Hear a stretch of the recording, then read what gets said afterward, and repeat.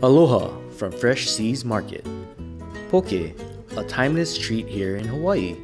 Here's how to thaw poke cubes and kits. For best results, planning is important when thawing your poke cubes.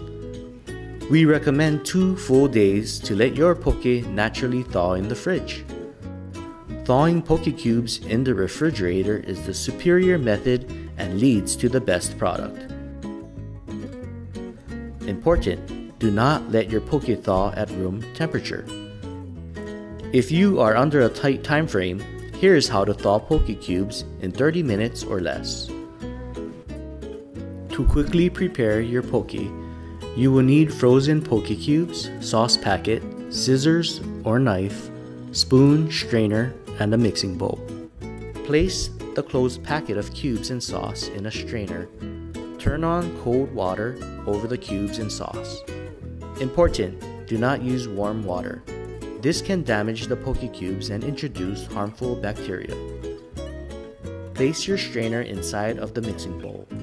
Open the poke cube packet and pour poke cubes into the strainer. Let the poke cubes rest. Remove strained water from bowl. Place poke cubes from strainer into the bowl. Then add sauce and green and white onions as you please.